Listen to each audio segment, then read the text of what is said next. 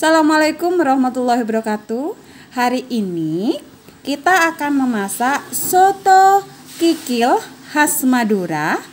Nah, bahan-bahannya adalah siapkan bawang putih, bawang merah, kemiri, jahe. Jahenya cukup segini ya. Lalu kunyit, ladaku atau merica bubuk. Bisa juga kalau teman-teman di rumah suka dengan merica yang biasa, bisa menggunakan merica yang biasa. Lalu ada daun bawang, ada daun salam, saya pakai dua daun salam. Lalu ada dua lembar daun jeruk. Nah, setelah ini, setelah selesai, setelah dikupas seperti ini dan dicuci bersih, kita tumis terlebih dahulu bawang putih, kemiri, jahe, dan kunyit serta bawang merah kita gongso atau kita tumis sebentar. Setelah itu kita baru blender. Sementara menunggu tumisan,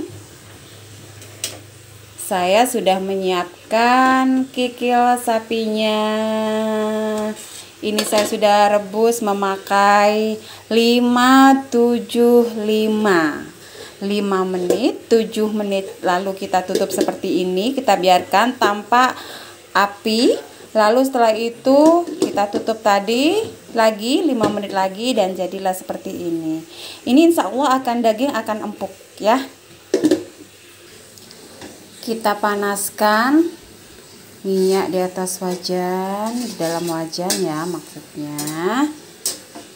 Dan kita masukkan bawang putih, kemiri, bawang merah, jahe dan kunyit ini kenapa saya goreng terlebih dahulu?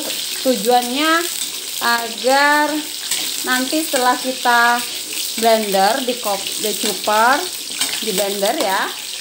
Kalau kita tumis kembali atau kita gongso kembali maka bumbu itu akan tidak langau baunya. Kita tumis. Sebentar saja ya teman-teman tumisnya kalau sudah berwarna seperti ini sebentar lagi kita akan matikan kompornya. Sebenarnya kalau misalnya jahenya itu kita geprek atau tidak usah kita goreng boleh saja sih. Tapi saya lebih suka menggorengnya lalu saya blender bersama bumbu yang lainnya. Oke tunggu sebentar. Kita matikan kompornya.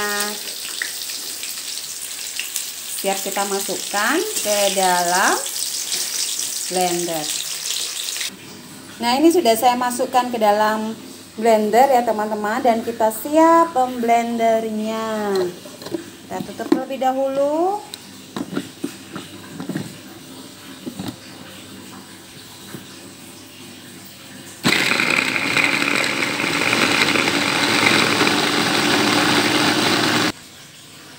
Kalau sudah halus seperti ini, ini nanti kita tumis sebentar saja.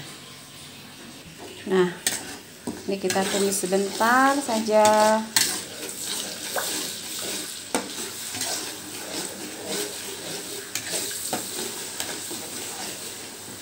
Tadi pas waktu blender itu saya kasih air sedikit. Tujuannya boleh dikasih minyak boleh. Tujuannya saya memberikan air itu agar uh, bumbunya itu cepat halus. Kan? Ini kalau misalnya sebentar lagi ini sudah bisa dimasukkan air dan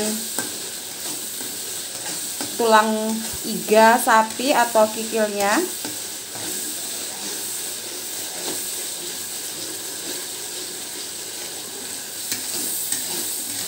cepat kan kalau misalnya bumbunya sudah kita goreng itu cepat nanti hasilnya.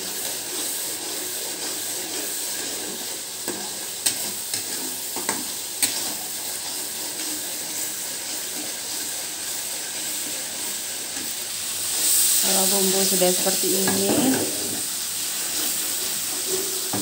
baru kita masukkan daun kita masukkan daun jeruk dan daun salam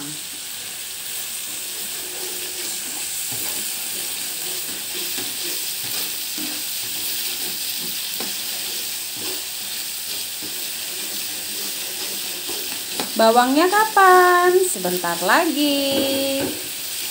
Daun bawangnya sebentar lagi kita akan memasukkannya. Hmm. Daun bawang yang kita pasang ke dalam, kita masukkan ke dalam sudah diiris ya. Baunya harum.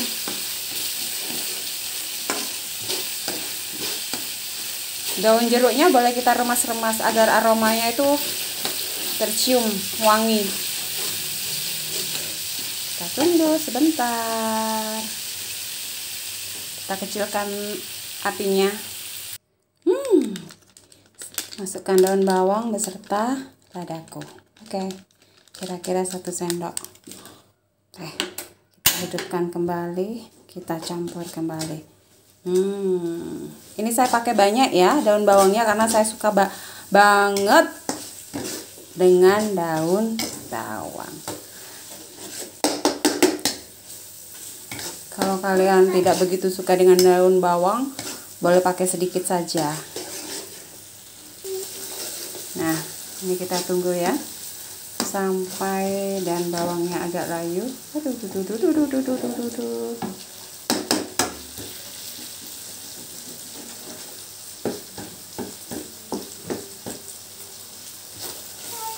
Nah, kita masukkan. Masukkan air.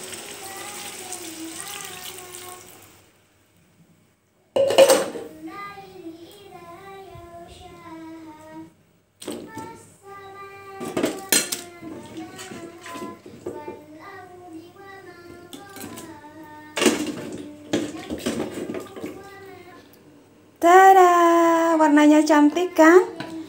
Aduh, maaf ya, karena saya tuh masaknya malam. Saya mulai tadi itu lupa menghidupkan cahaya pengisinya. Ini cantik banget warnanya. Kita tunggu. Ini kita belum koreksi rasa ya. Belum dikasih garam, lalu belum dikasih penyedap rasa kita beri garam.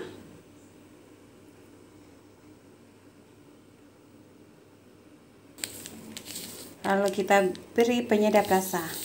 Tups. tadi kita sudah memberi ladaku atau merica bubuk. Merica bubuk sudah kita kasih dalam. Maaf ya. Ini dapurnya lagi kotor kita tunggu sampai mendidih. Saya tambah garam barusan karena rasanya menurut saya sih kurang asin. Ini sebenarnya kesukaan suami. Kesukaan anak saya yang cowok juga suka. Soto. Soto tulang sapi ada juga di dalamnya iga sapi. Nah.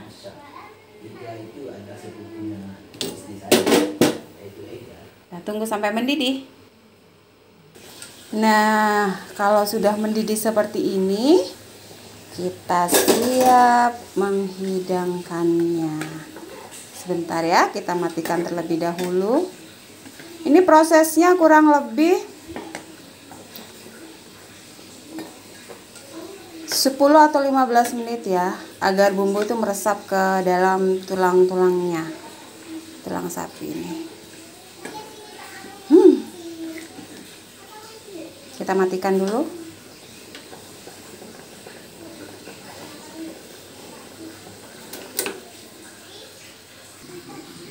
Alhamdulillah. Nah Sudah selesai Sudah masak siap dihidangkan bersama keluarga. Menu kesukaan kita keluarga yaitu soto, tulang sapi, ada tulang iga juga, dan boleh kalau suka kita pakai kikil. Selamat mencoba ya teman-teman. Assalamualaikum warahmatullahi wabarakatuh.